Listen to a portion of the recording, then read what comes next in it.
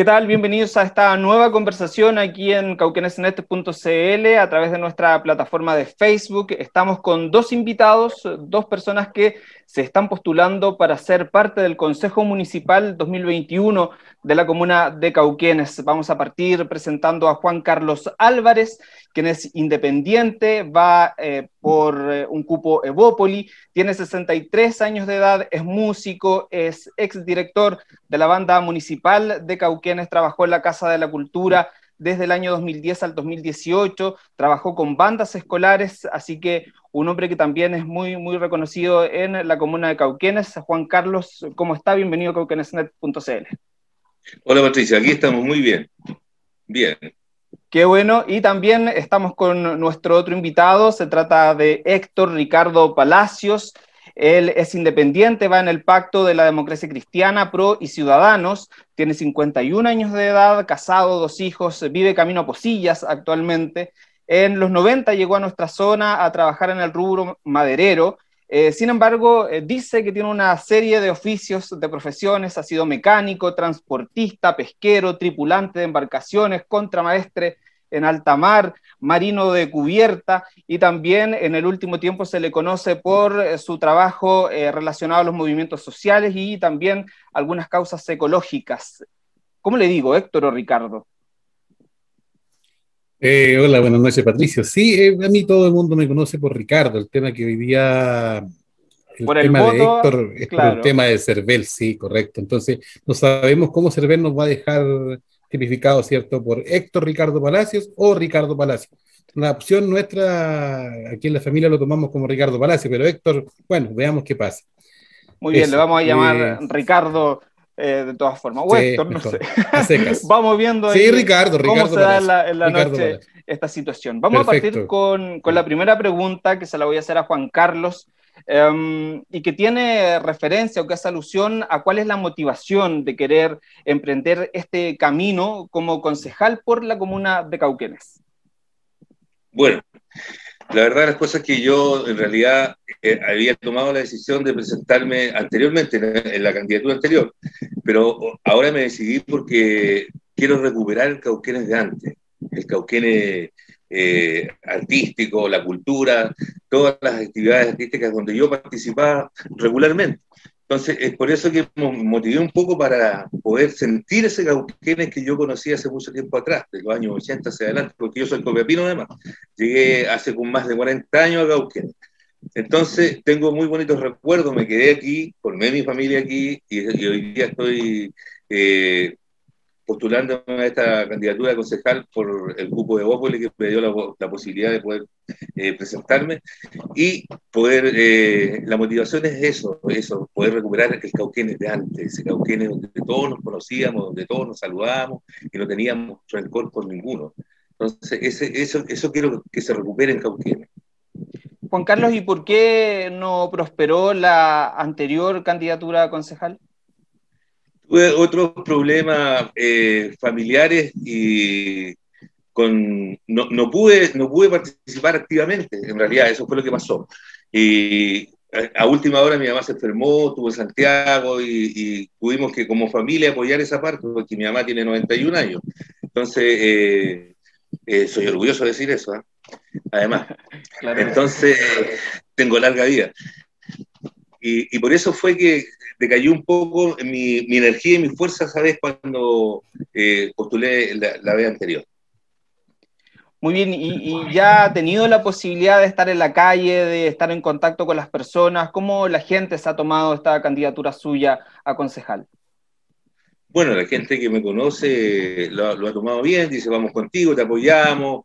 Es que yo he trabajado harto en lo que es cultura, en todo lo que es en la parte artística, he formado grupos, yo era integrante de un grupo musical de los años 80 en, en, el rock latino, el grupo Espiga Show, que fue, que marcamos una etapa de los años 80 hasta los 90. Eh, tocábamos en la plaza, se juntaba mucha gente y hacíamos hartas actividades. Era un cauquene espectacular y ese es el que quiero recuperar. Muy bien, y vamos eh, también a consultarle a Ricardo cuál es su motivación por asumir este desafío, esta campaña como concejal por la comuna de Cauquenes. Bueno, eh, primero que todo saludarlo, ¿cierto? A don Juan Carlos, a Patricio, ¿cierto? Por la oportunidad de, de habernos ofrecido por esta entrevista, ¿cierto? Y, y saludar, ¿cierto? A, los cauqueninos y cauqueninas de acá de esta preciosa comuna cauquena. A ver, eh, la pregunta, eh, el por qué. Bueno, por, por, razones, no sé, creo que las personas a esta edad, yo tengo 51 años, como dijo Patricio, eh, hemos adquirido, perdón. Jovencito, digo yo. Sí, jovencito, Juan Carlos. 51 todavía aquí, ahí en la carretilla, como se dice. Entonces, eh, eh, delante cuando Patricio me preguntaba eh, una especie de, como saber el, formato de cada persona, el currículum, la experiencia, eh, cuando uno llega al medio siglo, creo que, y cuando todos llegamos, ¿cierto? Eh, tenemos un, concepto de vida plasmado, ¿cierto? En base a lo que ha vivido. Entonces hoy día, eh, que ya vivimos ya 18 años con mi familia acá en Cauquenes, ¿cierto? Conociendo este Cauquenes, ese Cauquenes que decía don Juan Carlos, nosotros veníamos de Constitución acá en la micro de doña Luchita, de bus de ah, amigo, imagínense. Imagínense que eran seis horas lindas de allá de viaje para llegar acá a Cauquenes y más encima fumaban los caballeros también. Pero bueno, esa es parte de la historia y eso es lo que es bonito, y recordarlo y mantenerlo. Entonces, volviendo a la pregunta, eh, la motivación es por la experiencia, por las causas que hoy día nosotros nos vemos envueltos, por ejemplo, cuando mencionó el tema del medio ambiente, eh, el venirnos al campo nosotros a vivir tranquilo y en paz, ya no lo es.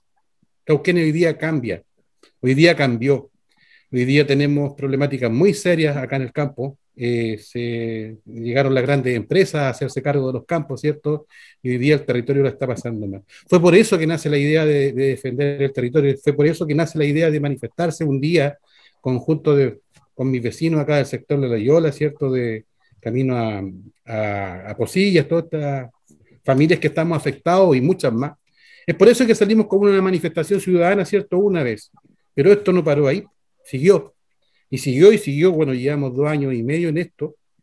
Y fundamos una agrupación acá, fundamos agrupaciones, varias, ¿cierto? Entonces de ahí nace la inquietud desde el territorio, para el territorio, poder representaros, como dice el español, en, en, en, en, esta. Esta es la oportunidad ciudadana que, tiene, que, que, que, necesita don Juan Carlos, que necesito yo para poder plasmar dentro del Consejo, ¿cierto?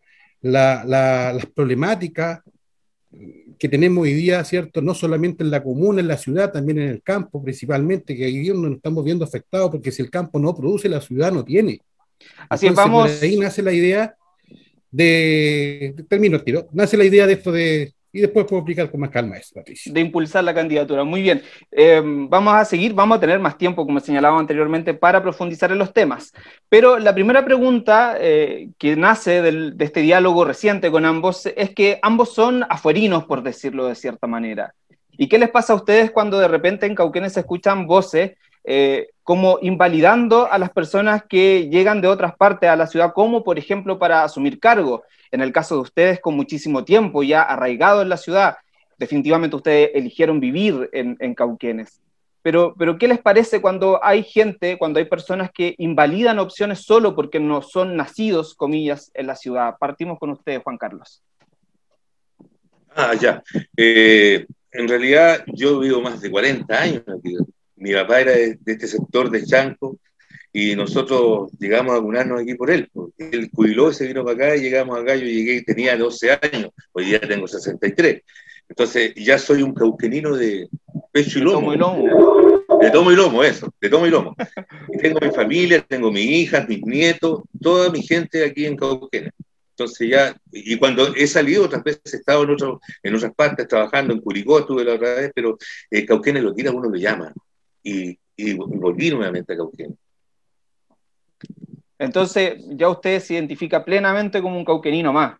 Exactamente, soy un cauquenino más, cauquenino más. Mis hijas son cauqueninas, mi mujer es y, y así. Pues. ¿Y usted, Ricardo?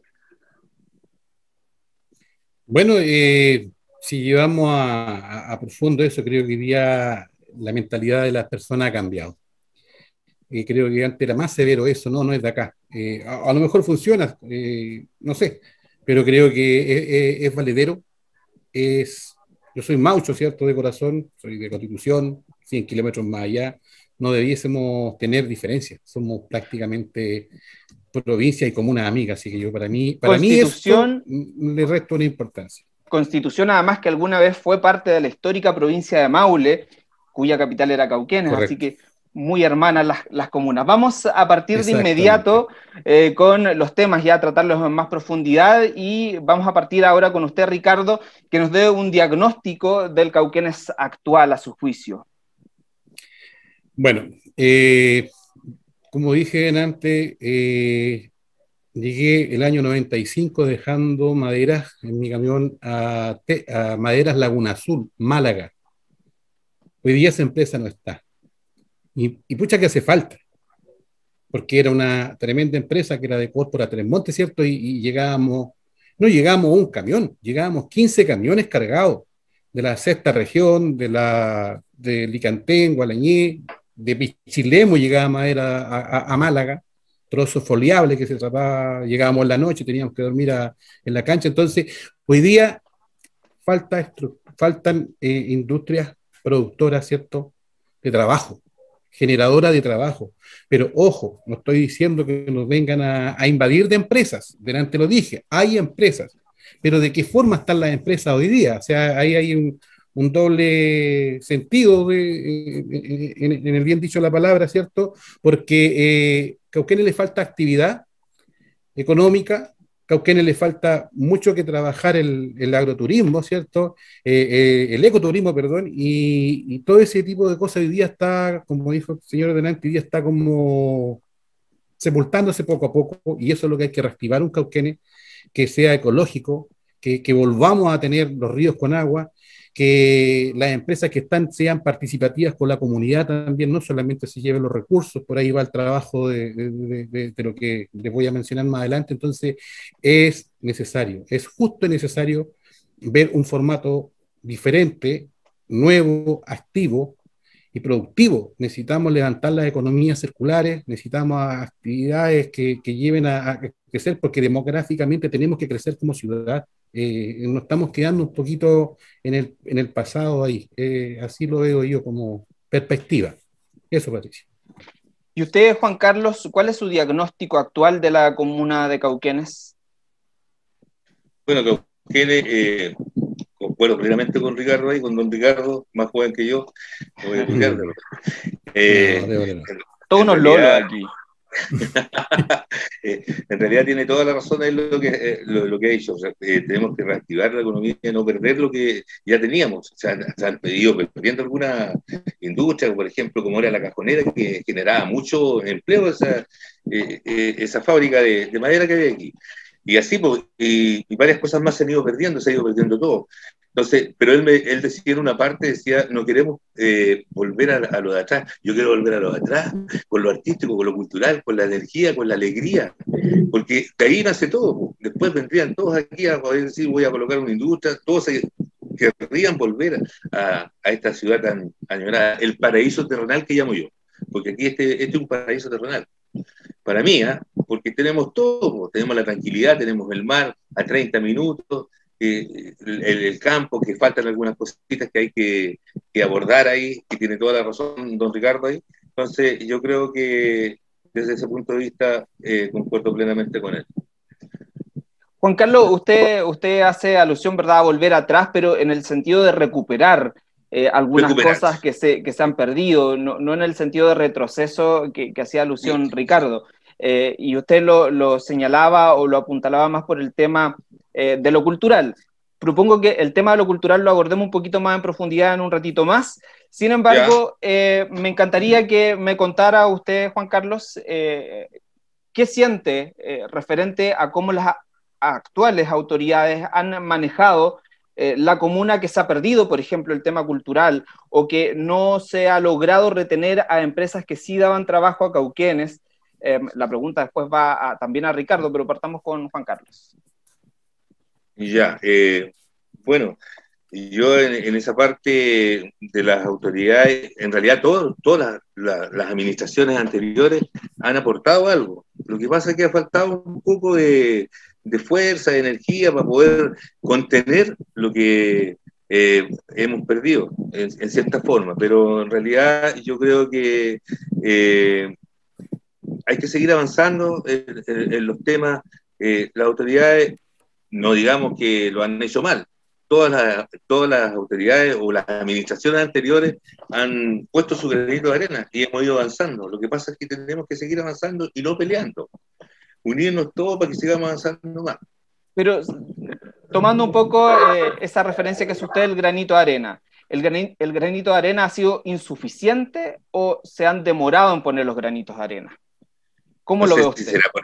Yo lo veo que ha sido un poco lento, pero pero avanzado un poco, no, no, no digamos que voy a criticar profundamente las administraciones anteriores, y, y, esta, y además que tenemos que ponernos a pensar que a veces eh, hay cosas que impiden algunas cosas como esta misma pandemia, ha impedido incluso hasta el gobierno nacional poder avanzar eh, y abordar algunos temas específicos. Entonces, nos ha jugado mucho en contra, nos jugó mucho en contra el terremoto, que hay que levantarse, que hay otras prioridades que abordar, entonces, eh, eh, por eso que a lo mejor hemos sido lentos en el avance de todo. Entonces, hemos dado prioridad a las cosas que nos han ido abordando o aquejando en, el momento de ahora.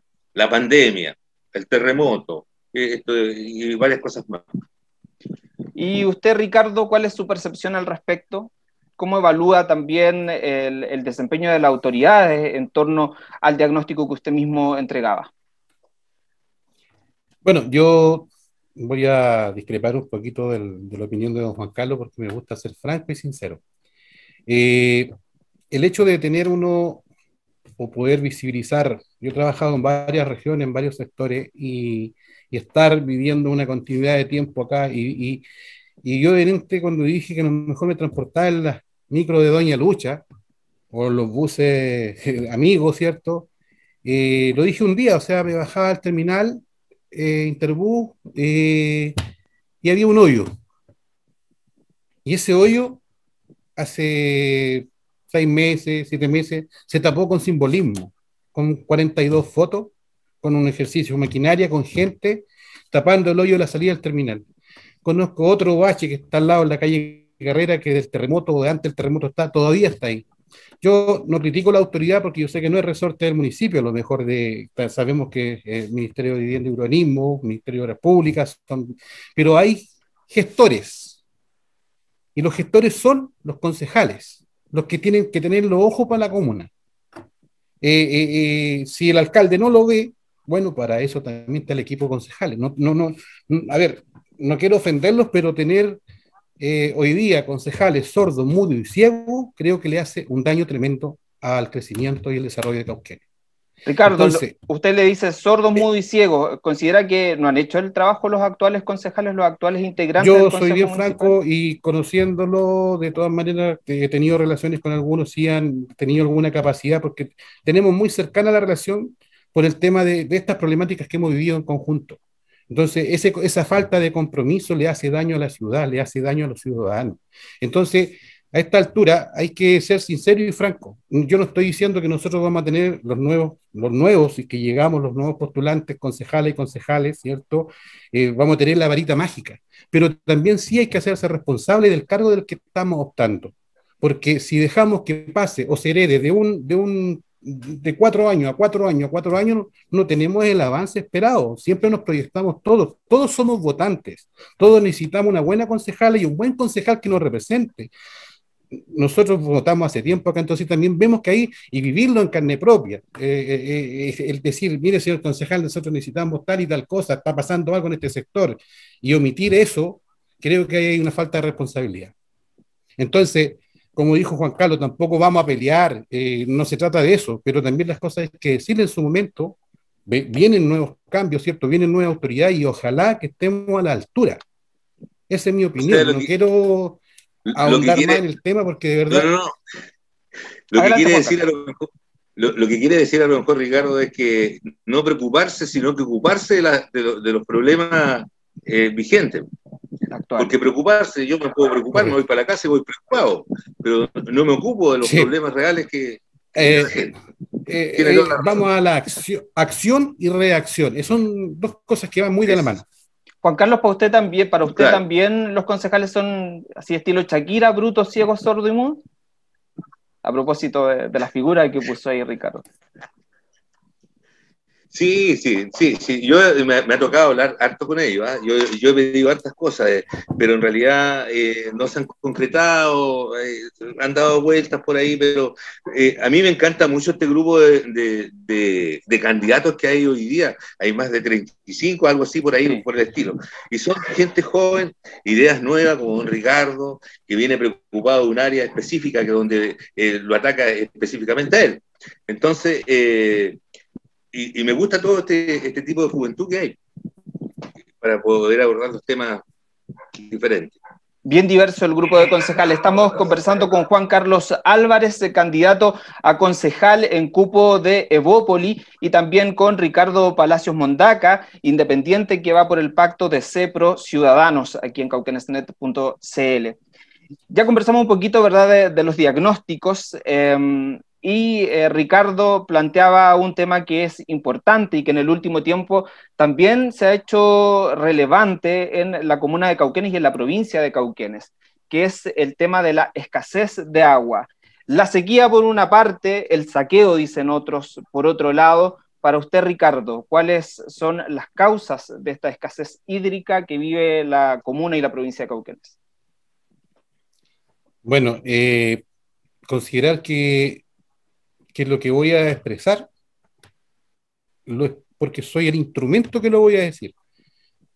Porque es un trabajo mancomunado con mucha gente, con agrupaciones que se tuvieron que activarse, organizarse.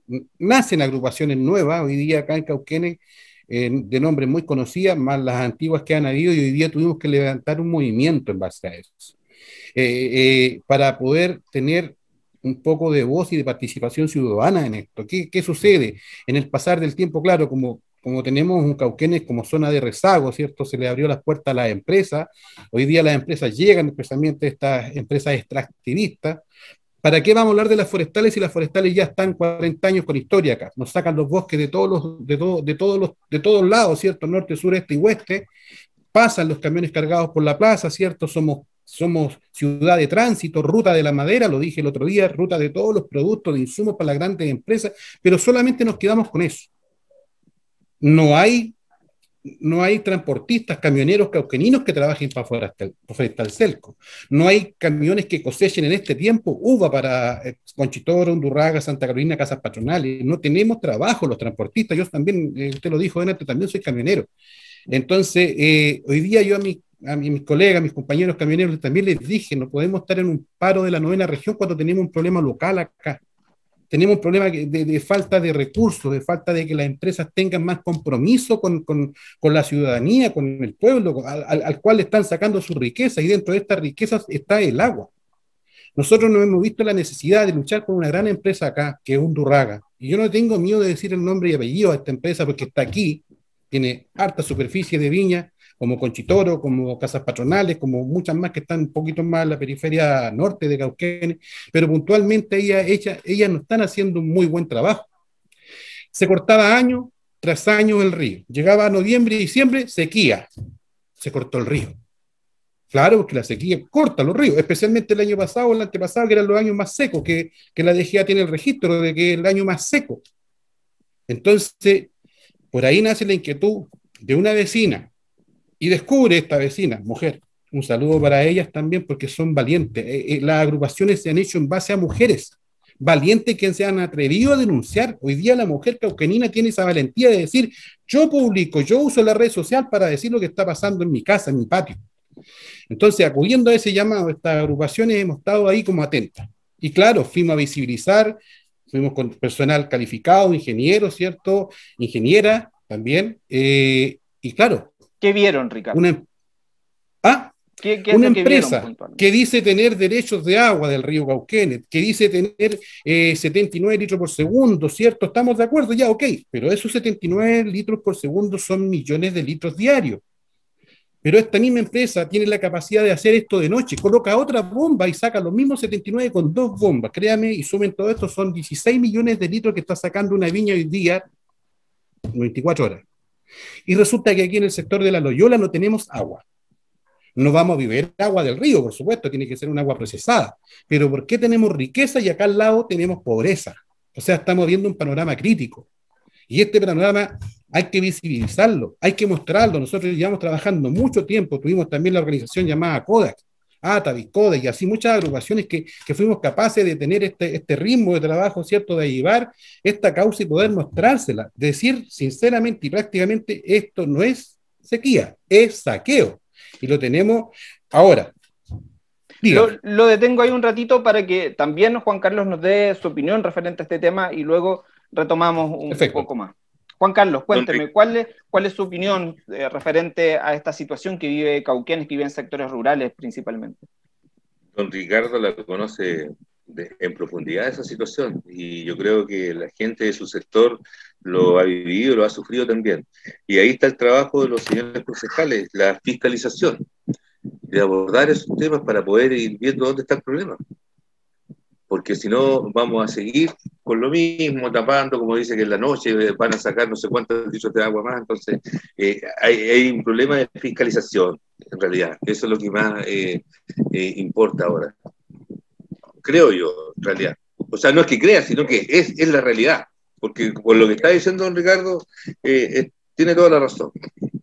Sobre todo en los sectores rurales hay que considerar que en el último tiempo en algunas de las cosas que más se gastan dinero, sobre todo en la zona céntrica del país, es en la compra de camiones aljibes por parte de los municipios que precisamente se utilizan para llevar agua hacia algunos lugares, pero eso también eh, da muestra, ¿verdad?, de la problemática y que una problemática súper tangente y que se está tratando, al parecer, por lo que uno logra entender o, o deducir de lo que está diciendo Ricardo de una manera equivocada, ¿no, Ricardo? Yo considero, nosotros consideramos, ¿cierto?, las agrupaciones que estas medidas paliativas que se están llevando hoy día a cabo. Yo sé que, eh, por ejemplo, el municipio tiene camiones de abastecimiento de agua, ¿cierto? Sabemos que hay un recurso eh, eh, del gobierno para este, para este medio, ¿cierto? La gobernación también hace lo suyo, pero nos quedamos cortos, estamos al debe, porque tenemos un coronel de Maule seco porque tenemos la Viña Santa Carolina que tiene toda el agua del mundo acumulada en un tranque y son millones de litros, más encima saca el agua profunda, debilita el río Cauquenes, la, la gente, los agricultores ya no están esas praderas o esas, esas perdón, esas chacras con choclo verde, eh, con maizales que se veían cuando uno bajaba con los camiones cargados, era precioso ese paisaje. A mí me sorprende mucho ver hoy día un coronel tapado en viñas verdes y ver todo lo seco alrededor. Tenemos una realidad una realidad tan cercana a lo que es Petorca.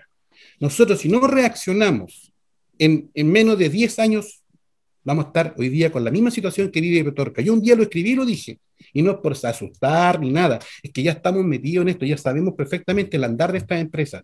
recuerden que tenemos una empresa que nos está mirando, que está aquí al lado, que está el mapa de, de, AgroSuper, un mega, un mega proyecto. Esto está, no hemos hablado todavía de AgroSuper, pero ¿qué, qué sucede a la hora de?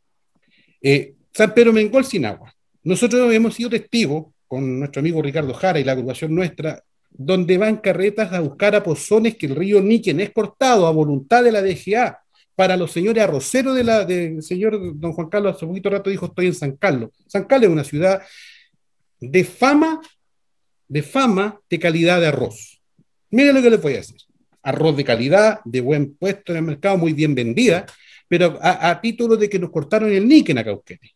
Y eso hace 10 años la DGA cortó este río, lo declaró seco. Pero el, el, el, agua llega, pero la desvían hacia, hacia los arroceros. Entonces, eh, si seguimos creyendo eso, de que, que y, y, claro, demos agua, demos agua, y las carretas con agua verde para para las ovejas, para los, para los eh, Tenemos fotos, tenemos videos, tenemos testimonio de la gente que está viviendo la miseria del agua. Mientras tanto, ahí en San Pedro Mengol, las, los, almendros, los nueces, gigantes plantaciones, millones de litros per Quilauquén también lo devuelven con 17 bombas hacia atrás, hacia el cerro, hacia las cordilleras de estas que quedan aquí arriba, junto con los pinos. Y son realidades que tenemos. Entonces, las agrupaciones territoriales que nos podemos desplazar, eh, por el medio ambiente, luchar por el agua, ver dónde está este problema. Es por eso que hoy día yo delante le dije que desde el territorio y para el territorio es hoy día lo que queremos expresar, que tengamos la reacción ahora, que, que, la comunidad sepa lo que está sucediendo alrededor. Entonces tenemos una masa de problemas con ellos que vamos a entrar en, temas eh, más adelante, cómo explicar y qué es lo que está pasando también, se los quiero decir más adelante. Patricia. Eh, Ricardo, ¿y cómo usted desde el Consejo Municipal podría ayudar a, solucionar de alguna forma esa situación? Mire, yo creo que con la experiencia que hemos tenido, como hemos canalizado todo esto en base a, otras agrupaciones territoriales de la región, del país, eh, eh, también así tenemos contacto con, con páginas periodísticas como CIPER, que hoy día nuevamente va a venir a levantar información. CIPER es importante, CIPER escribió por Cauquenes. Sí, pero estuvo aquí con el tema con Undurraga, sí, pero no es menor una plataforma periodística, ¿cierto, Patricio? La ubicamos todos. Y hoy día vuelve de nuevo porque hoy día tenemos amenazas. Perdón, una plataforma periodística que además se tiene que sustentar con aporte, ¿ah? hay que, que decirlo, como funcionan algunos medios de prensa. Seguramente, pero acá nosotros no nos pidieron aporte, es lo único aporte que hicimos nosotros. Me refiero, me refiero a que no tiene grandes presupuestos como otros medios de comunicación. Ah, por supuesto, sí, pero son severos, son certeros, van a, a donde las papas queman y eso nosotros tenemos la experiencia con ellos. Eh, es porque hoy día también hay que tener eh, cojones para hoy día para decir eh, no agro super. Un durraco compórtese bien. Es que, es que créame que esto es, es de valentía, de, de, colocarle el pecho a las balas. No somos superhéroes, pero sí podemos, como usted me, me pregunta, cuál sería la forma o la fórmula la fórmula está casi aquí mismo, porque si la empresa se está llevando la riqueza, ¿qué es lo que tiene que hacer? Lo dije antes, dar trabajo, preferir el trabajo a la mano de obra de aquí, eh, industrializar menos, cosechan con máquinas día y noche y la gente queda sin pega. Eh, eh, hay aportes que ellos tienen dentro de, dentro de la organización de cada empresa, ellos tienen que tener y ellos aportan, eh, ellos tienen que calificarse, por ejemplo, para los ISO, ISO 9001, ISO Ricardo, capacitación ISO. Ricardo, eh, una idea se la devuelvo. Perfecto.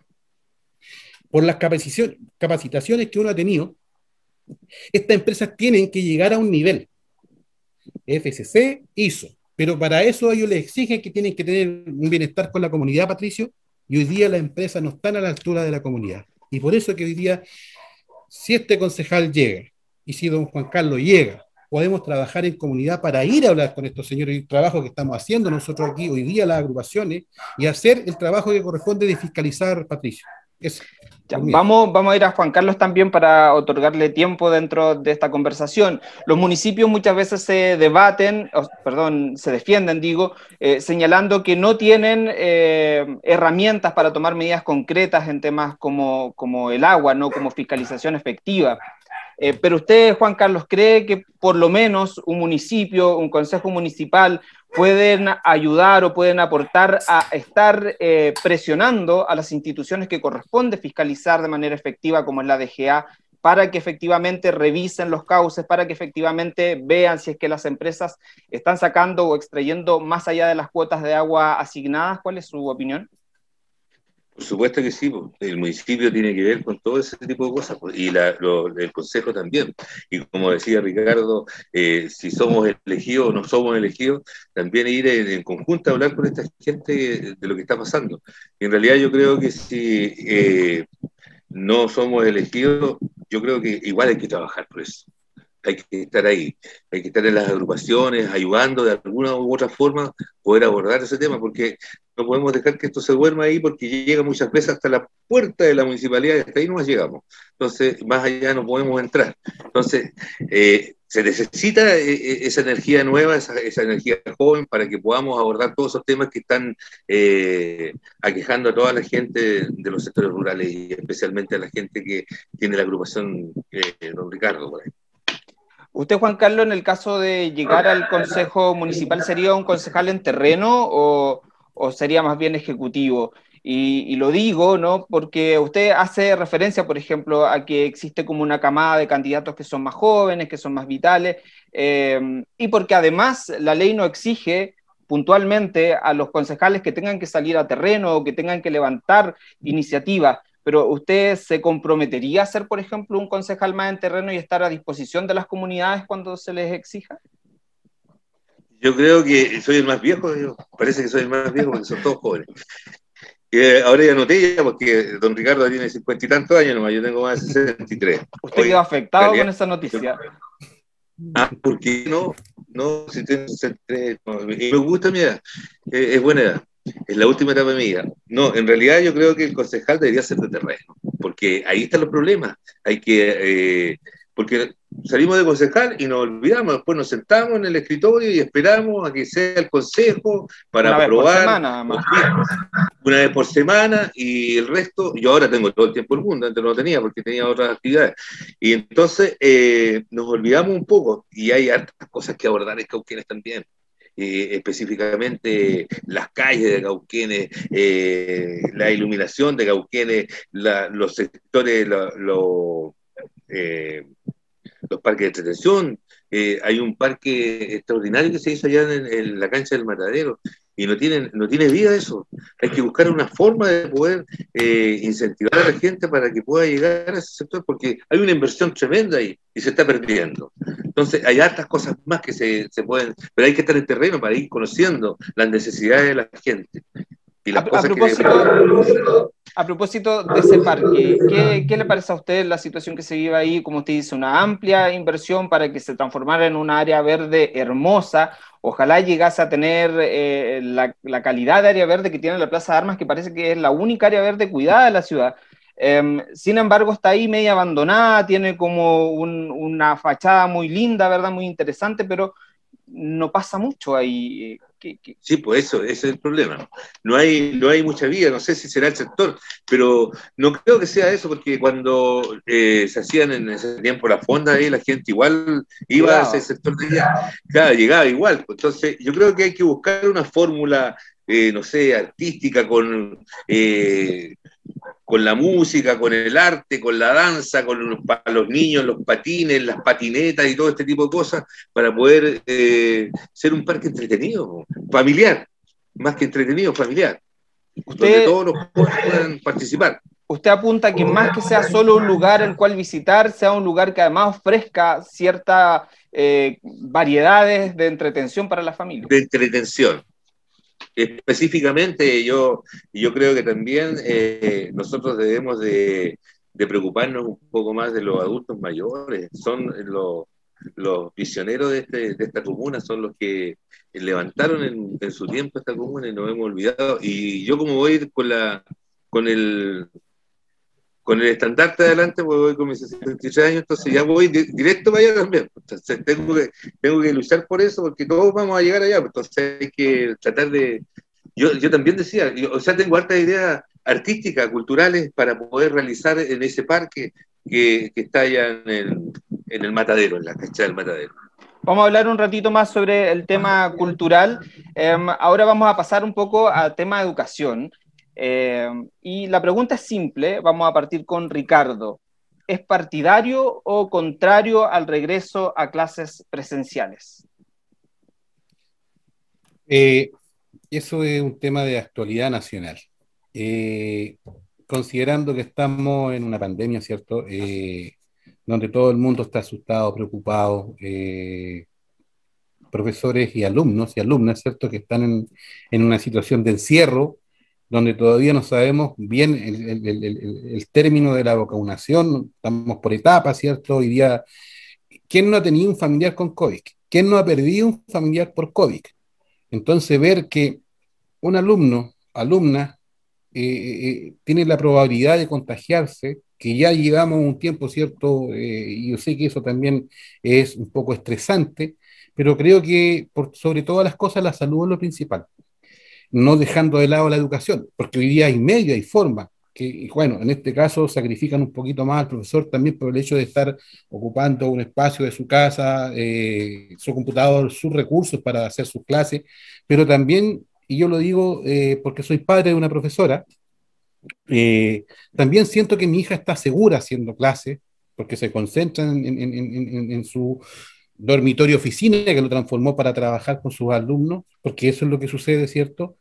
Pero también la veo que está sana, que no está corriendo riesgo, que la locomoción, que el colectivo, que, porque hoy día no tenemos esa seguridad, esa certeza de que este virus está eh, superado, si es mundial. No podemos, no podemos hacer que nosotros somos la ciudad de la maravilla, que hoy día los niños van a ir al colegio, niñas y niños van a ir al colegio de forma más sana. Yo yo creo que hoy día no estamos todavía a la altura todavía necesaria como para que hoy día tengamos clases presenciales. Hay forma, algunos colegios lo están haciendo 50%, eh, hay una, ahí están inventando algunos sistemas que no sé si a la postre irán a dar. Para usted, ¿qué sería necesario para volver a las clases presenciales? Primero que todo el COVID.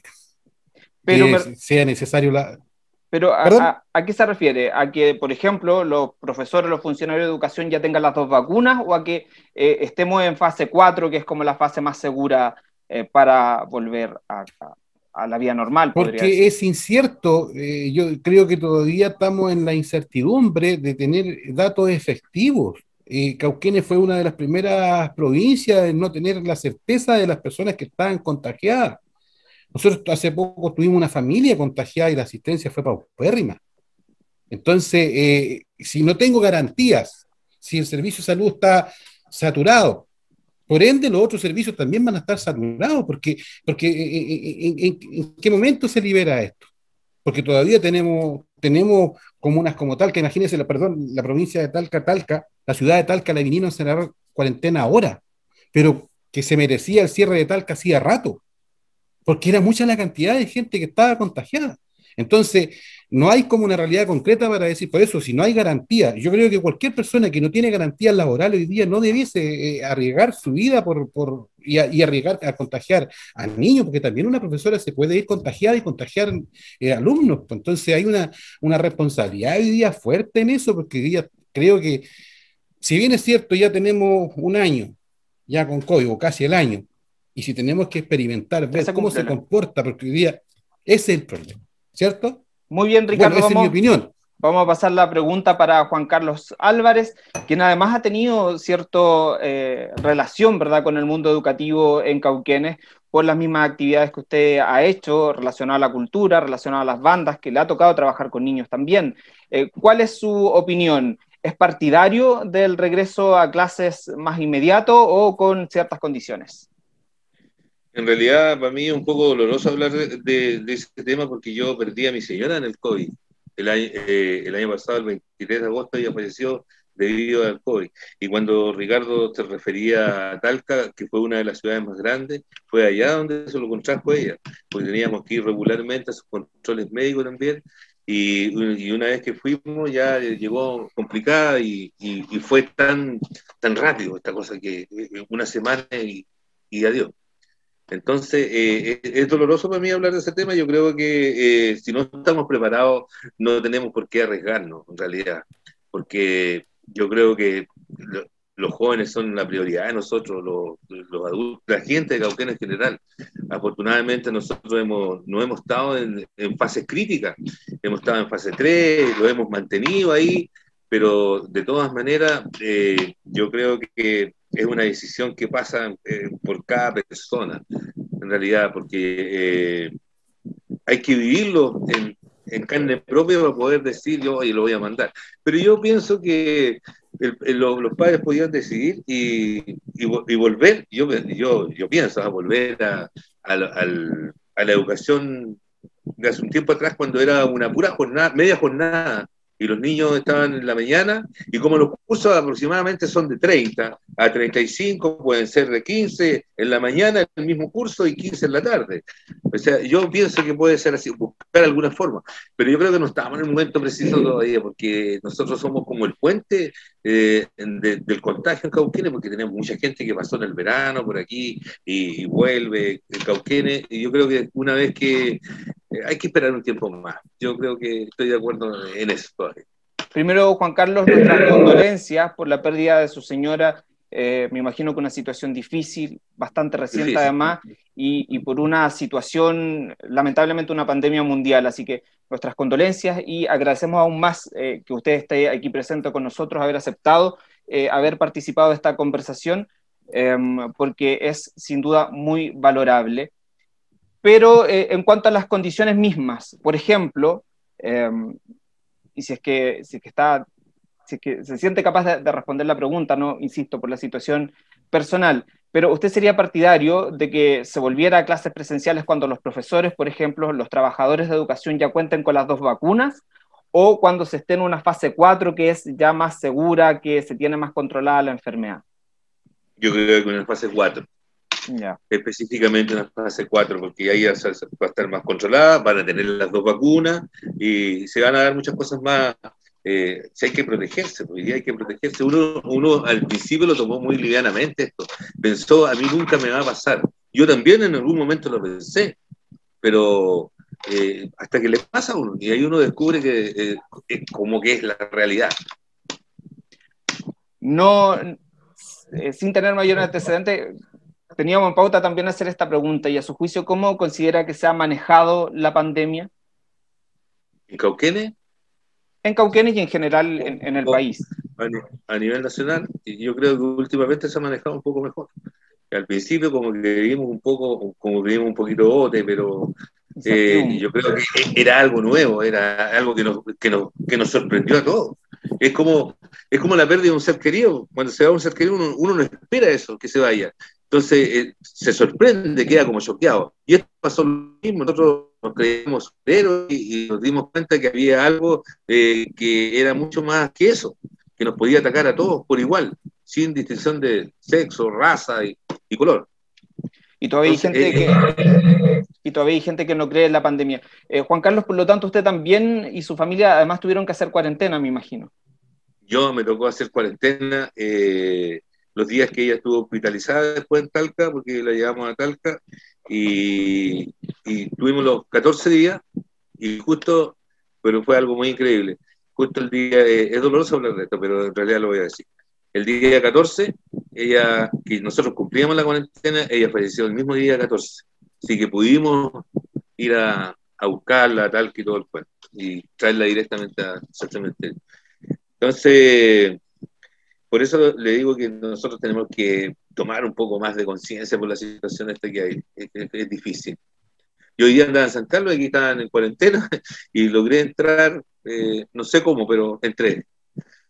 Me, me, pararon un poco, sí, pero tenía un que había, que había sacado, un salvoconducto. Muy bien, vamos a pasar entonces a Ricardo a consultarle a su juicio qué le parece cómo se ha manejado el tema de la pandemia a nivel local y también a nivel nacional.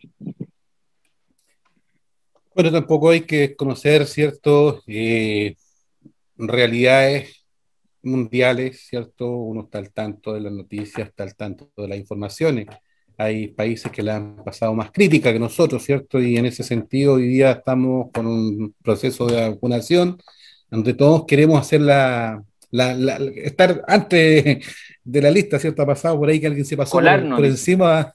¿Ah? Colarnos, dice Claro, eh, eh, yo estoy dispuesto a vacunarme eh, porque necesito darle también tranquilidad. Mi mamá tiene tercera edad acá también. somos crónicos, a esta altura más de alguna enfermedad que es la presión, la diabetes, cualquier cosa puede estar invadiendo nuestro cuerpo, entonces igual somos zona de riesgo. O sea, zona de riesgo, perdón, estoy, muy, muy ligado al territorio, somos población de riesgo. Claro, de población de riesgo. Entonces, eh, no estoy de acuerdo eh, que de alguna forma tampoco podemos ser tan críticos de un sistema. Sí elogiar, ¿cierto?, el trabajo del sistema, del personal del sistema de salud. Eh, hay, que, hay que sacarse el sombrero, porque de verdad son los que están ahí en, la primera fila y aquí en Cauquene también.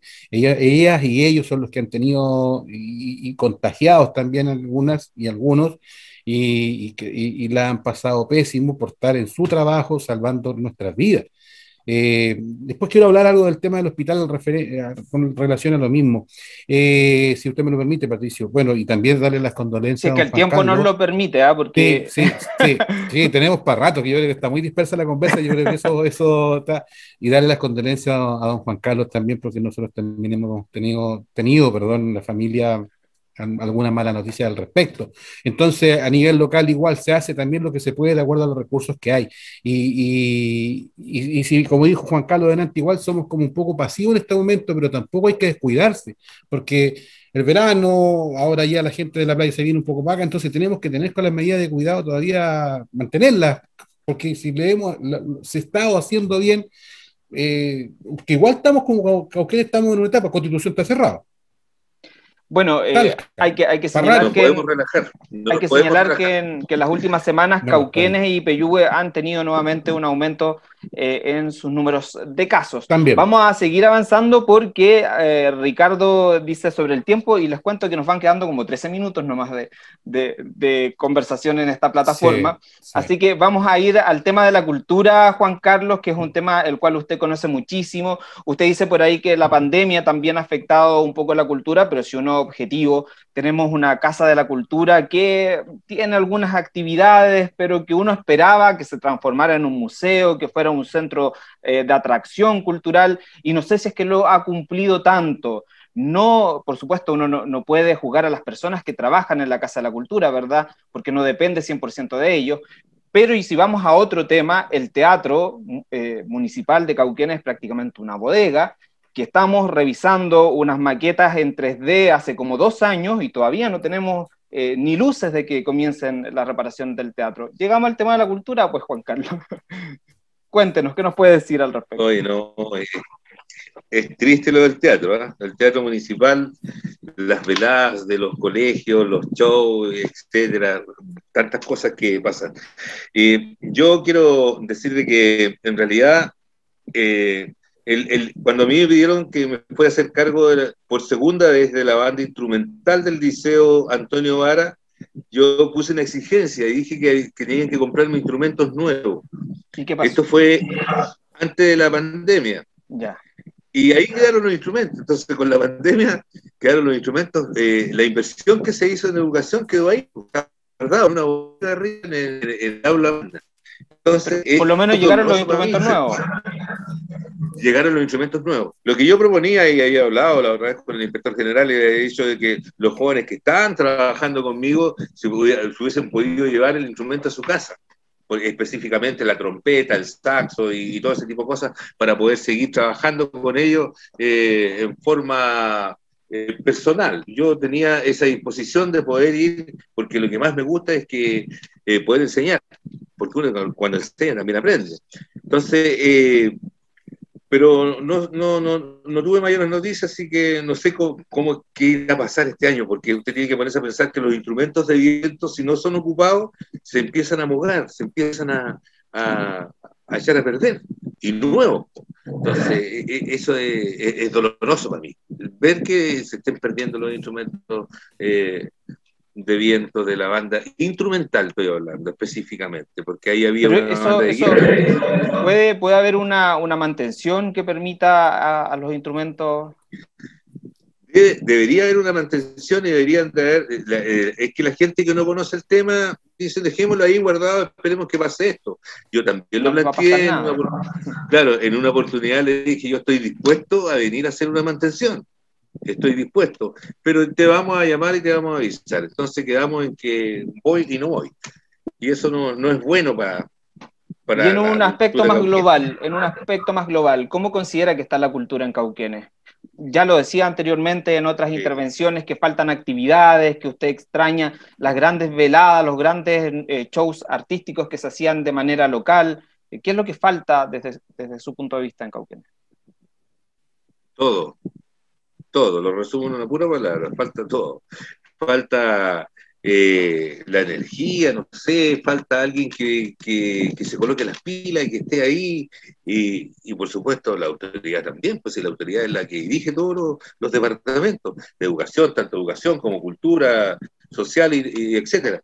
Entonces ahí falta una manito, y tenemos que ponernos a pensar de que eh, la música es el idioma universal y con eso vamos a levantar anímicamente en esta situación difícil de la pandemia a Cauquenes, porque la música le hace bien a todos.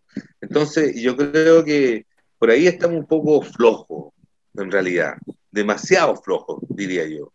No sé, lo digo a lo mejor porque me gusta tanto la música, me gusta tanto el arte, no solo pensando en la música, en que ah, toquemos en la plaza de armas, que hagamos un show, tenemos que pensar también eh, en la cultura, en el arte, en la pintura, en otro tipo de, cosas.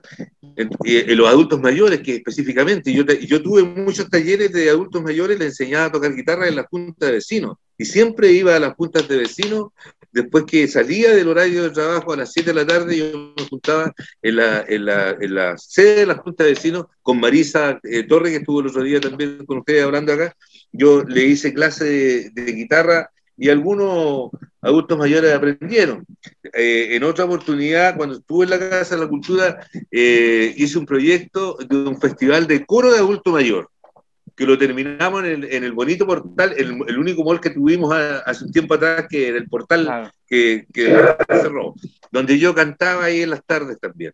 Ahí hicimos la final del, del concurso de coros del adulto mayor. Fue algo muy entretenido, enriquecedor completamente para mí, porque los adultos mayores son muy responsables, además de eso, son muy jugados, son muy entregados, ellos venían con túnica, fue algo, lo, lo focalicé desde la Casa de la Cultura cuando estaba yo ahí. Hicimos eso, después hicimos un talento 100%, y siempre estuve tratando de, incentivar la, parte que más me, compete, pero sin dejar de lado las otras partes también, pero abordaba a toda la gente, a los jóvenes, al adulto mayor, a los músicos y, a la gente del arte también, del teatro, etcétera. Incentivar las expresiones artísticas, entonces, Juan Carlos, considera que es necesario. Y para usted, Ricardo, ¿cómo ve el, ámbito cultural en la comuna de Cauquenes? Eh, Patricio, ¿le puedo hacer una pregunta yo a usted ahora? vamos a cambiar. ¿Dentro de la cultura podemos agregar el deporte en esta pregunta? ¿O vamos a tener un espacio para el deporte? Mire, nos queda tan poco tiempo que no. Eh, trate de condensar los dos temas. Autorizado. Sí, por eso porque, porque, lo voy a condensar. eh, mire, yo escuché detenidamente ya a don Juan Carlos y entiendo su amor por la música y yo creo que es loable, es positivo. La música nos levanta el ánimo a todos y a todas, ¿cierto? Porque ya sea una ranchera, una folclórica, eh, un bolerito. siempre un bolerito, sí, eh, eh, es, musical. El Festival de Chuico lo dice, pero ha perdido trayectoria, ha perdido prestigio. Hoy día no tienen oportunidades los artistas locales, se traen artistas que ni los conocemos. Bien, Entonces, bien lo que eh, entonces, eso, eso, Cauquenes va perdiendo su esencia. Como la Semana Maulina que hacía en Constitución también en esos años, son algo que uno lo tiene en la memoria, que eran, era de Talca, de San Javier, los cantantes de Constitución, los, extraños 80, que más o menos son de la generación de don Juan Carlos. Entonces, eh, la familia Obregón, que son todos vecinos míos allá de Constitución en los Guanayes. Entonces, eh, hoy día si plasmamos eso, la cultura, la pérdida de la, de la, de la, de la, de la autenticidad de la ciudad, ¿cierto? De lo auténtico, de lo propio, de lo autóctono, ¿cierto? Vamos perdiendo categoría en eso. No, no, no nos vamos, nos estamos llenando de moles chinos, por ejemplo, ya no están las cosas artesanales ahí. Ah, ¿Por qué no hay un molde de la artesanía en el centro? De la artesanía de allá de la locera de Pilén, de los calcetines. Hoy día, ustedes ven, el día jueves las, las calcetineras están vendiendo, las señoras que tejen a precio huevo su producto para llevarlo a Puerto Montt.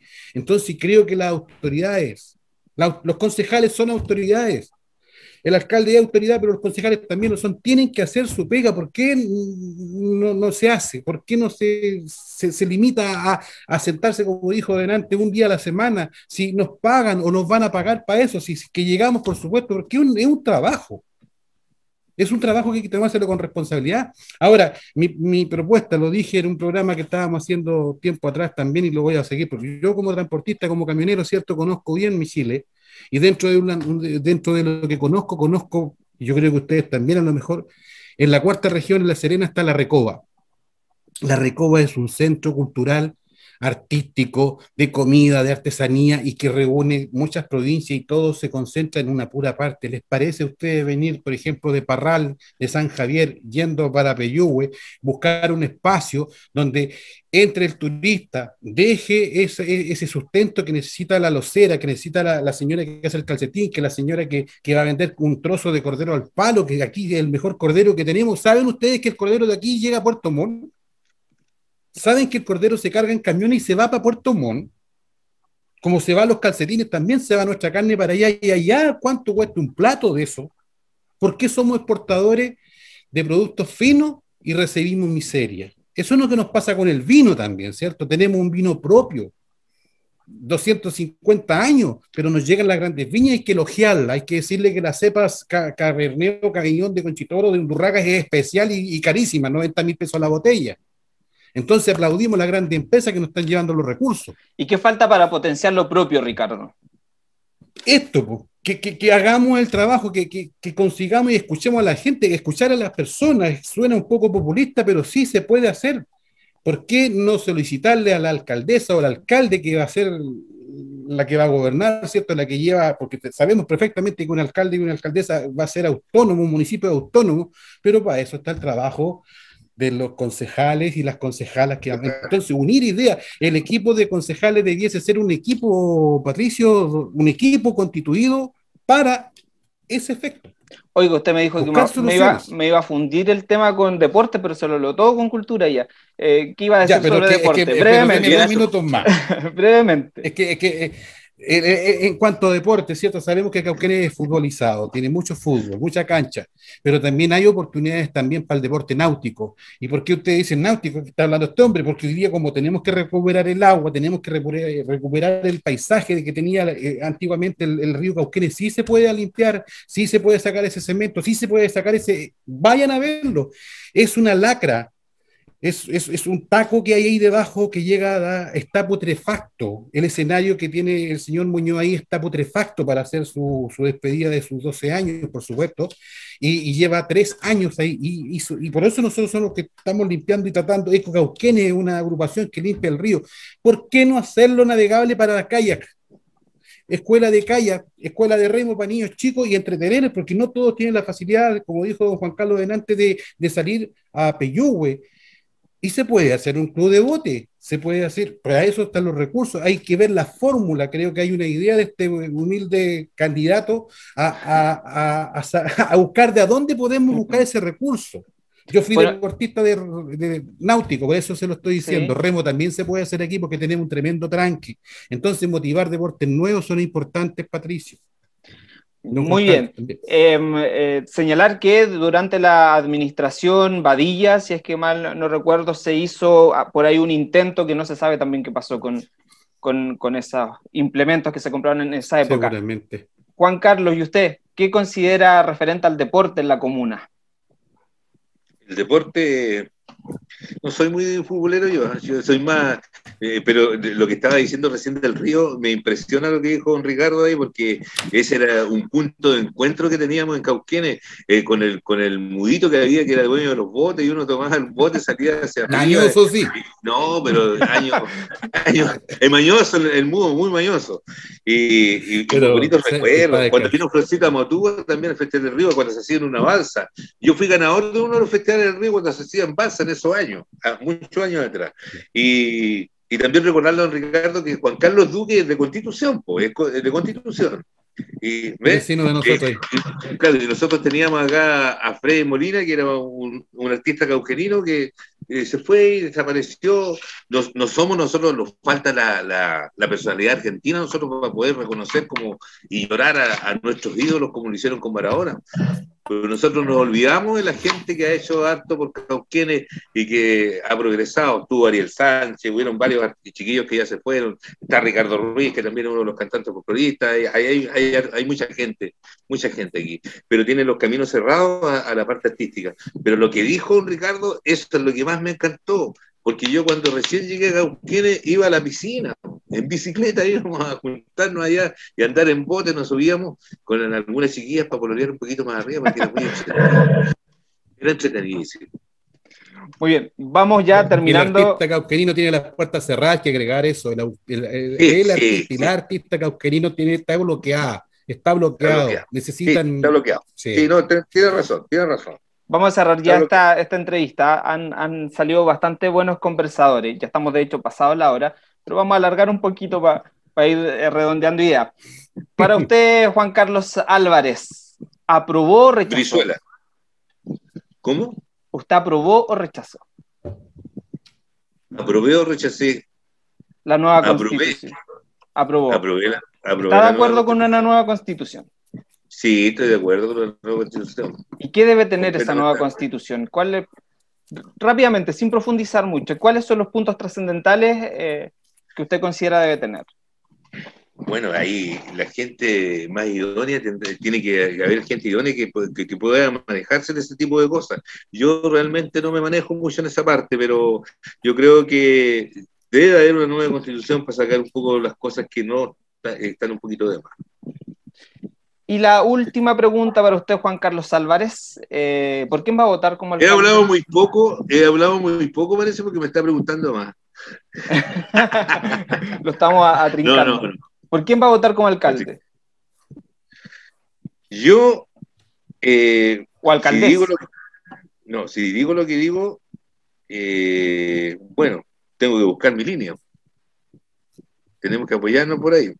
Voy a buscar mi línea y, el voto como secreto no puedo decir el nombre del candidato, pero voy a buscar mi centro y mi línea. ¿Todavía no tiene decidido su voto? No, se lo tengo decidido, por mi línea, dije. ¿Y cuál sería su línea? Si es que uno eh, hace los cálculos, yo soy bueno para hacer cálculos así al voleo nomás. no tan bueno para hacer cálculos matemáticos, pero al voleo soy bueno. Usted es independiente pro Evópoli. Tendría que votar por Jorge Muñoz. Eh, eh, ¿Usted cree? Es el único candidato en su sector, o si no, votaría por otro. No, pero yo creo que ahora tenemos que ver, yo creo que en estas elecciones que son municipales, uno eh, elige más a la persona que el partido político. O sea, usted no va a votar por Jorge Muñoz. No, no, no estoy diciendo eso, no, dije eso. Yo, yo, voy a buscar la persona de mi línea que, que piense y que tenga casi el, el, mismo horizonte mío. O sea, usted está en búsqueda todavía.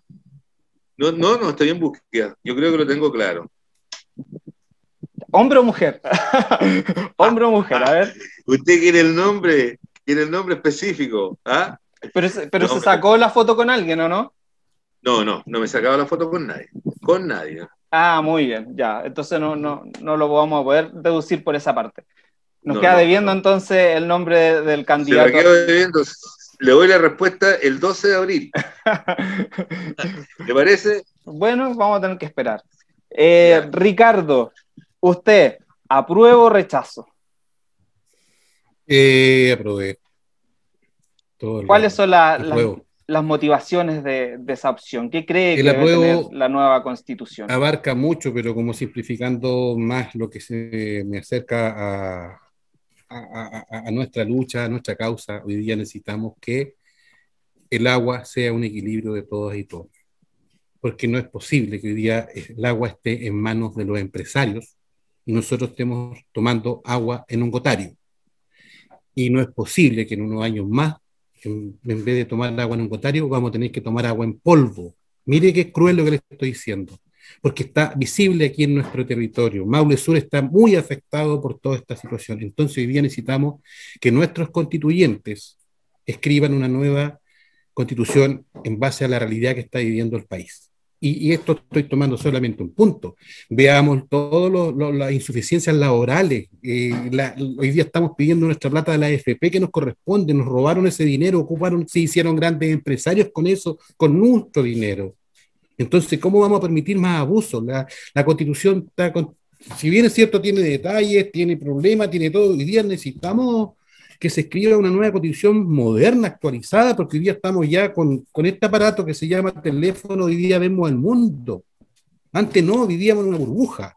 Entonces tenemos aquí el poder, tenemos aquí el poder y tenemos una mano para también votar hoy día, como usted me va a preguntar enseguida. ¿Por qué le digo yo las leyes laborales? Porque no es posible, no es posible que en mi Cauquenes, en su Cauquenes, en nuestro Cauquenes, Veamos trabajadores municipales juntos con las herramientas cortopulsantes, motosierra, rozones en la mañana cargándose frente a la bodega del teatro, porque es una bodega de fardo, y, los trabajadores municipales tienen que salir a trabajar arriba de esos camiones en la plataforma de carga. ¿Acaso no hay un prevencionista de riesgo? ¿Qué le pasa a esos trabajadores que van afirmando cajas que van a repartir el día sábado? ¿Cómo es posible que veamos eso todavía? años atrás andábamos arriba de las micros, ¿cierto? De los techos o de las puertas. Colgando. Entonces, colgando. Pero hoy día en Cauquenes se ven trabajadores a las 8 de la mañana arriba de esta plataforma de estos camiones. ¿Cómo se llama un accidente de eso? Imagínense cómo andan arriesgando a las personas. Yo veo la parte laboral, veo la parte que ellos tienen que hacer el trabajo. Para esto se necesitan vehículos de, traslado de trabajadores al punto, no junto con la carga. Y esto es municipal. Ojo, ojo, concejales. Si, si yo no llego si usted llega, don Juan Carlos, yo le voy a exigir que esto se prohíba. Yo le voy a mostrar los fotos y los videos que tengo de los trabajadores municipales que andan afirmando la caja. Afirma la caja y su cuerpo, ¿quién lo afirma? O cuando están con la motosierra, juntos sentados arriba. Ojo con eso. Lo sé, lo he visto. Por eso, si usted llega, yo le voy a cobrar la palabra. y yo le voy a cobrar la palabra de cuál va a ser su candidato a alcalde. O ah, por quién va a votar. Este caballero, mire, este, yo le voy a decir al tiro, don Patricio no está forzando, yo ya fui declarado persona no grata aquí en Cauquenes. Pero ¿cómo por el edil. Eh, usted, me está, usted me está prácticamente que yo tome mi maleta y me ponga en el terminal donde una lucha y me lleve. Le voy a cambiar la pregunta. Mire, mire, le voy a cambiar la pregunta. al candidato que usted apoyaba, que yo lo vi en redes sociales apoyando, ya no está. Sí, correcto. ¿Por quién va a votar ahora? Me quedé sin candidato y sin candidata, si yo también perdí, yo di un paso al lado de la candidatura territorial de la señora Neri Rodríguez. No ha habido eh, reconciliación. No, no, no, del 22 de agosto no ha habido. Y eso eh, suena mucho tiempo. Entonces, se maduran las ideas, se procesan, eh, yo soy consciente y consecuente de donde estoy.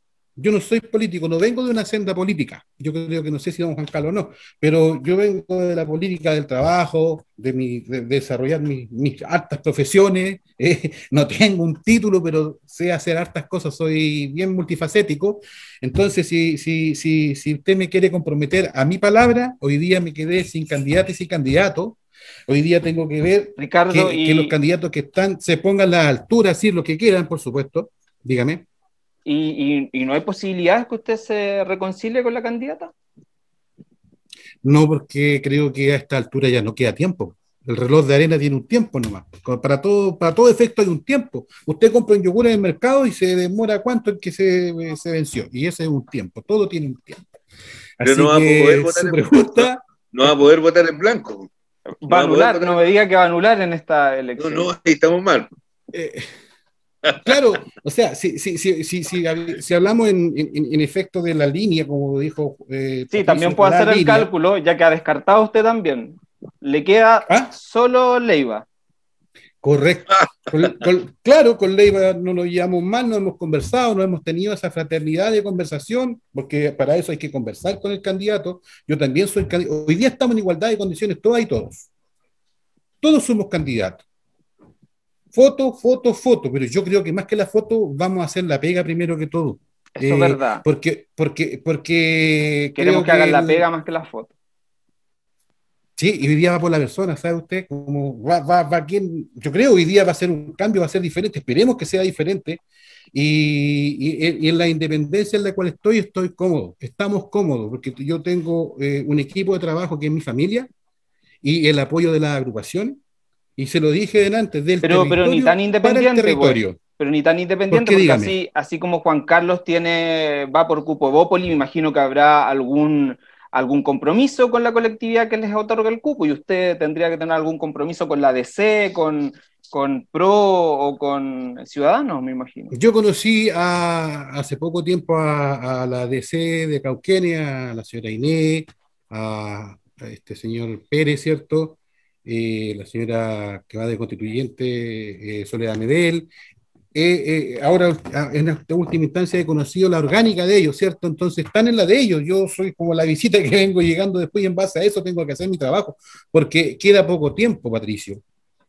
Y, como también tengo eh, y tenemos un trabajo previo, creo que me tengo que dedicar bien a eso, porque creo que también es, parte de mi esencia, es parte de mi luz. Entonces, y si bien le hace a Cauquenes que yo siga en esa misma luz, voy a seguir. Ya, lo dejo ahí lo vamos a dejar ahí y le pido que vaya pensando porque va a tener solo dos minutos para decirnos por qué la gente debería votar por usted, que ya es la última vuelta. Ah, claro que sí, me está adelantando. Y voy por Juan Carlos Álvarez, eh, para que primero me diga, ¿hay algún tipo de compromiso con Evópoli? ¿Cómo? ¿Hay algún tipo de compromiso con Evópoli que le otorgó el cupo? Por supuesto, por supuesto que sí, porque me, otorgaron la posibilidad, me llamaron, estaba yo eh, aquí mismo en San Carlos, y me, dijeron, entonces yo, me costó un poquito porque estaba pasando por un proceso difícil ese del duelo, pero me dijeron que me iba a hacer bien y me convencieron un poco, como somos, eh, conozco a harta gente ahí, somos amigos, entonces eh, me costó un poquito decidirme, pero al final lo hablé con mi hija y lo decidí y tomé la opción.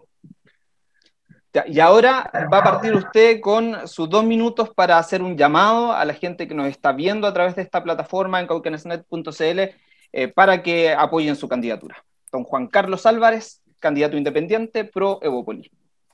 Bueno, yo eh, quiero invitarlos a todos. Tengo una cancioncita por ahí que después va a aparecer, todavía no ha aparecido, eh, que habla de mi candidatura y quiero invitarle a todos los amigos de Cauquenes, a los músicos, a los artistas y a todo tipo de entes que tengan que ver con la cultura para que me puedan apoyar en esta candidatura. Me salió verso, mira qué bonito. Eh, y poder eh, cumplir el sueño de muchas personas. Yo creo que vamos a tener que unirnos todos. Si hoy día, si hoy día o mañana no soy elegido concejal, eh, estaré dispuesto para el que quiera que lo pueda ayudar en la parte cultural y seguir trabajando con la cultura en Cauquenes, con la música, que es lo que más me gusta, que es, mi vida y mi pasión. El que muere chicharro, el que nace chicharro muere cantando eso. Entonces, pero es lo que me alimenta el alma y lo que me tiene bien parado ahora por todas las situaciones que yo he vivido. Pero en realidad yo quiero invitar a todos los, amigos de Cauquenes, a la gente de Cauquenes, a que nos unamos todos sin, sin diferencias de color, raza, eh, política, ni, ni, mucho menos que trabajemos todos por un Cauquenes para todos y con todos, sin excepción de nadie, que nadie se quede afuera, que seamos todos una sola familia, que Cauquenes sea una sola familia. Muy bien, Juan Carlos, agradecidos de que nos haya acompañado y muy bien por ese llamado. Y vamos con don Ricardo Palacios, cuenta con dos minutos nomás, ¿ah? usted se me, se me extiende un poquito, así que ahí atento. Está más joven. Estoy lleno de ideas, lo mejor. El ímpetu juvenil, dice usted. Sí, ah, lo hay. Eh, hay power, eh, hay punch, que decía un tío mío. Bueno, no voy a perder mis dos minutos porque el tiempo corre. Eh, creo que hoy día elegir, saber elegir es la responsabilidad de todo y todo. elegir una buena concejala o un buen concejal es responsabilidad de todo y todo. Yo quiero también un buen concejal, quiero una buena concejala, porque, en serio, o sea, obvio que yo sé que voy a, me a dar mi voto, pero si yo no quiero, también quiero que quede esa esencia ahí, porque hoy día Cauquenes lo necesita, más que nunca. Es un SOS que está pidiendo el territorio. Créanme, amigos, eh, digo amigos por esta, esta, esta, linda reunión que fue, fuimos invitados, ¿cierto? Hay problemáticas serias, graves, no visibles. Las hemos tratado de visibilizar y todavía siguen y continúan, continúan. Entonces, eh, el trabajo en el territorio que, lleva este candidato a exponerlo, a mostrarlo, lo hemos llevado a cabo de, estoy representando a un grupo de personas o a una comunidad que, en su momento va a elegir también, y eso lo, eso lo va a decidir, como dijo usted, don Juan Carlos, eh, en el voto. Llamo al apoyo también a elegir buenos candidatos yo puedo pedir, llamar que voten por mí, pero también eh, las personas que no van a votar por mí también no se equivoquen en votar por una buena candidata. ¿Me entiende? Quiero ser bien, eh, bien amigable con lo que les voy a decir, con lo que les estoy diciendo, porque día todo hay 35 candidatos y hay que sacar 6 buenas y buenos candidatos. Entonces, eh, creo que Cauquenes se lo merece, ustedes se lo merecen, nosotros lo merecemos, el es para todos. Entonces creo que eh, la responsabilidad que tenemos cada uno y cada, cada uno y cada una, ¿cierto? es ese, hacer un buen trabajo. Muchas gracias. Muy bien, ahí entonces teníamos el cierre de Héctor Ricardo Palacios, quien es candidato independiente pro pacto de C, pro ciudadanos. Juan Carlos, lo último. Lo último que quería decir, eh, eh, eh, yo en un principio partí diciendo de que eran 35 aproximadamente candidatos que venían con ideas muy frescas y no, digamos, tan entorpecidos con la política. Entonces son gente más independiente que va en esta oportunidad los 35, con excepciones de algunos, pero yo creo que está todo el power, la energía y las ganas de trabajar como lo hace don Ricardo también. Bueno, yo le agradezco a los dos, a Ricardo Palacios, a Juan Carlos Álvarez, por habernos acompañado en este retorno de las entrevistas de nuestra plataforma cauquenesnet.cl. Eh, se agradece la disposición, se agradece el buen momento de conversación, hacer la invitación también para las otras candidaturas para que quieran participar, eh, porque también eh, lamentablemente son muchos candidatos y no podemos recurrir a todos, así que quienes tengan la intención de querer participar también de este espacio nos pueden escribir a cauquenesnet.com, arroba gmail.com, eh, para que los equipos ahí se muevan también y puedan ser parte de este espacio, que es un espacio que no pretende ser polémico, sino más bien amigable y creo que así lo ha sido en esta jornada. Le agradezco eh, nuevamente que nos hayan acompañado y agradezco también a quienes nos siguieron en su casa. Y recuerde seguir informándose todos los días en www.cauquenesnet.cl. Será hasta la próxima. Que estén muy bien.